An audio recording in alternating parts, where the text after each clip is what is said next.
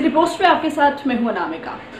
बिहार की नई नवेली नीतीश सरकार के मंत्रिमंडल का बहुत जल्द विस्तार हो सकता है।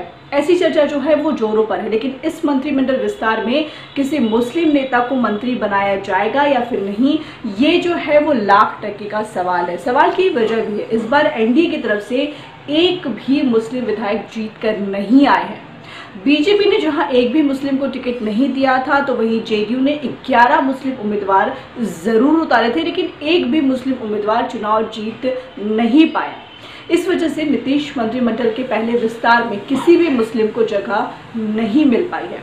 नीतीश कुमार के पिछले मंत्रिमंडल में अल्पसंख्यक कल्याण मंत्री के तौर पर खुर्शीद आलम मंत्री थे, लेकिन इस बार वो भी हार गए।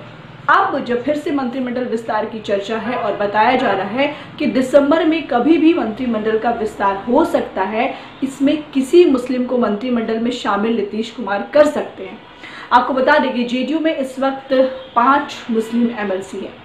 गुलाम रसूल बरियावी राजद से जेडीयू में आए कमरे आलम गुलाम गौश, तनवीर अख्त और खालिद अनवर चर्चा है कि इन्हीं पाँच में से किसी को नीतीश कुमार मंत्री बना सकते हैं, लेकिन एक चर्चा और भी तेज है, और वो है बसपा से एकमात्र चुनाव जीते हुए जमा खान।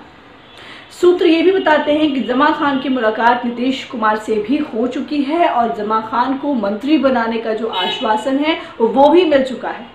लेकिन शर्त ये भी है कि पहले जमा खान जेडीयू में शामिल हो जाए। जमा खान अपने लिए कोई अच्छा मंत्री पद की मांग कर रहे हैं। अब देखिए, सूत्र से ये भी खबर आ रही कि उन्हें अल्पसंख्यक कल्याण मंत्री बनाने का ऑफ़र मिल रहा है, जिसे वो लेने से हिचक रहे हैं। सूत्रों की माने तो इस मुद्दे पर भी उनकी बात जो है जेडीयू आला कमान से चल रही है। दरअसल जेडीयू के लिए ये चुनाव बहुत बड़ा झटका लेकर आया है। सीटों की संख्या तो कम हो ही गई। उम्मीद के मुताबिक मुस्लिम वोट नहीं मिलना भी बड़ा झटका है। सियासी जानकार बताते हैं कि इसके बावजूद नीतीश कुमार किसी मुस्लिम को मंत्री बनाकर मुस्लिम वोटर को बड़ा मैसेज देने की कोशिश कर सकते हैं। राजनीतिक हल्कों में चर्चा ये भी है कि राजद के वरिष्ठ नेता और बड़े मुस्लिम चेहरे अब्दुल बारी सिद्दीकी पर भी जेडीयू आला कमान की नज़र है, जो इस बार विधानसभा चुनाव हार गए हैं। बताया जाता है कि सिद्दीकी अपनी हार के लिए राजद के ही कुछ नेताओं को दोषी बता रहे हैं, लेकिन सिद्दीकी राजद छोड़ सकते हैं, इस सवाल पर फ़िलहाल तो वो कुछ नहीं बोल रहे जेडीयू के सूत्र बताते हैं कि जेडीयू लगातार इस कोशिश में है कि सिद्दीकी जेडीयू में आ जाए और एमएलसी बना उन्हें मंत्री बनाया जा सके, ताकि न सिर्फ़ राजद को झटका दिया जाए, बल्कि सिद्दीकी को बड़े मुस्लिम चेहरे के तौर पर बढ़ाया जाए। लेकिन इस पर कोई भी जेडीयू का नेता कुछ भी बोलने को तैयार नहीं है। इसके पहले जेडीयू की तरफ़ से सिद्दीकी को जेडीयू में आने का ऑफ़र मिल चुका है, लेकिन तब सिद्दीकी ने ऑफ़र ठुकरा दिया था। तो अब देखने वाली बात यह होगी कि कितना विस्तार होता है मंत्रिमंडल का और क्या वाकई में किसी मुस्लिम को जगह मिल सकती है नीतीश के मंत्रिमंडल में। फ़िलहाल इसके इतना ही। नाम का को दीजिए